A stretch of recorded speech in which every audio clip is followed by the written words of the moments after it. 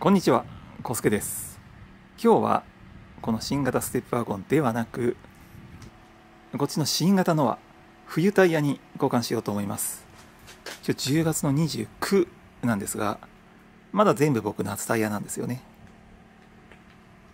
で今日は新型ノアから冬タイヤにしていきます。今回は自分で交換するのではなくディーラーに持って行って交換してもらおうと思っています交換するタイヤですが実はタイヤはタイヤ館で買っています。でタイヤはよいしょ。見ての通りブリヂストンの VRX3 ですね。去年発売されたばかりのモデルでかなり冬の雪道性能、アイスバン性能が高いので、これを買いました。横浜のアイスガード7もかなりいいと思うんですが、実際に僕 VRX3 履いてみて、結構安心して冬道も乗れたので、ノアもステップワゴンも VRX3 を買っています。で、このホイールも当然買っています。今回はちょっとブラック系のホイールにしていますね。これは装着した後、ゆっくり見てみたいと思います。それではタイヤ交換行きましょうかちなみに今回のタイヤのセットの価格なんですがもう4ヶ月ぐらい前に買ったんではっきり覚えてないんですけど確か15万ぐらいですね。ホイールもタイヤも本当年々値上がりしていてこのサイズこのノアボクシのサイズでもやっぱりセットだと15万ぐらいしますね。であとステップワゴンとベゼルのタイヤ交換は11月入ったらやります、え11月の上旬1週間後ぐらいにする予定でございます。まずはこのノアからですね。峠越え一番しそうな車から交換していこうと思います。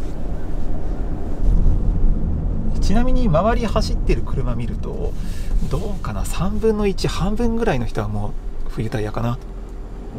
10月の末の時点であもうこの周りはみんな冬用だね。10月の末の時点でそうだね。半分近い人がもうタイヤ交換終えてると思います。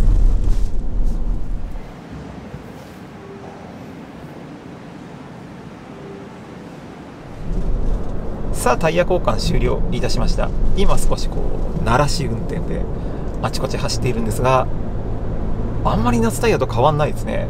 サイズは一緒なんですよね。インチも一緒のものを履いているということもあってか乗り心地とかハンドリングハンドルの重さなんかもそんなに大きく変わんないと思います。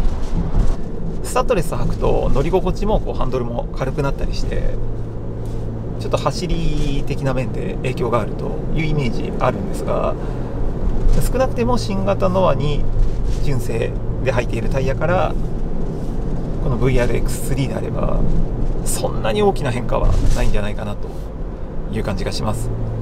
多分あんまり車に詳しくない人であれば変えたことに気づかないぐらいの変化でしょうね、まあ、夏に履いているエコタイヤと、まあ、それほど大きな違いがない乗り味でで冬はしっかり効くと。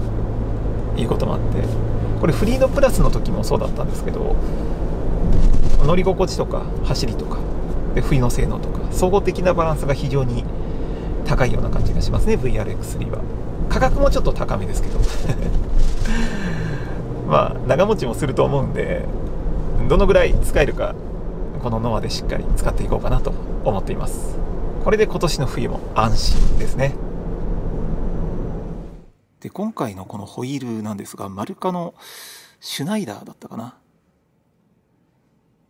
というホイールになっています。なかなかデザインもかっこいいんじゃないでしょうかね。カラーはブラックですね。ブラックメタリック。もともと履いていたナスタイヤはブリヂストンのエコピアですね。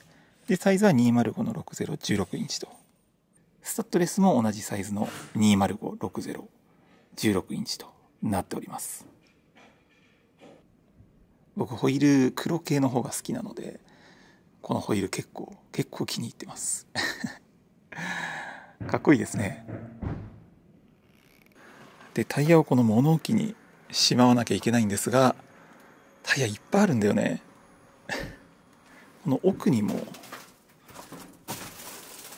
奥にもあるね。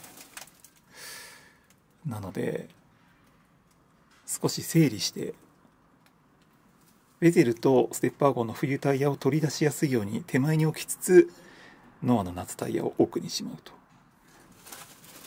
いう作業が必要になります。この辺はステップワゴンの冬タイヤかな。多分こっちがベゼルだよね。でそろそろ除雪道具も出さなきゃいけないのでこれもそろそろ出す準備しておきましょうか。ょ。でもあれだよね。あの SUV に比べてミニバンのタイヤ小さいので軽いですよね。タイヤ効果もそんなにノアボクシークラスのミニバンであれば、まあ、気にならない苦にならないくらいかなという気がします。今日ご近所さんもみんなタイヤ交換。インパクトでやってる音しますね。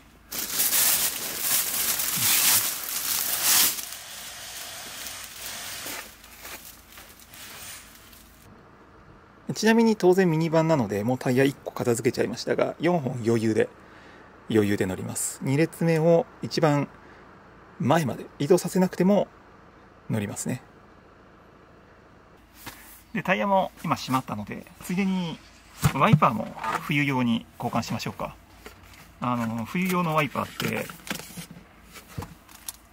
雪がこのブレードの骨組みに詰まらないようになってるんですよねこの方が、この方が見やすいかな。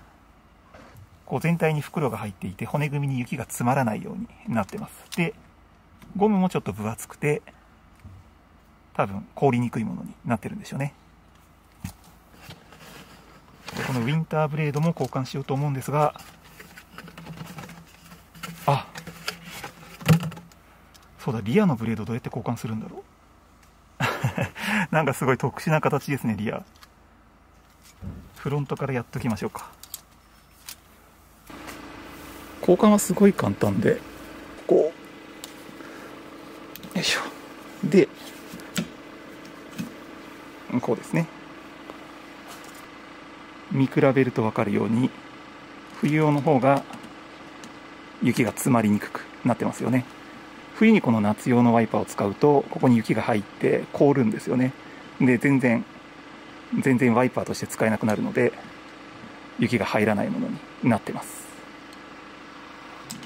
で取り付けもよいしょ。これで OK でございます。リアワイパーの交換方法を今ネットで調べたんですがワイパーがサービスポジションに移動しますあなるほどこのワイパースイッチをあなってるねここに移動してまずエンジンを起動してから止めます。で、この位置に丸の位置ですね。にセットして、こう、2秒間。ワイパーがへんてこな位置で止まってますね。この状態で交換するみたいですね。リアスポイラーからワイパーが出てきてますね。これで交換ができるみたいです交換しましたがこれでこれでいいのかななんか変わった形のリアワイパーですよね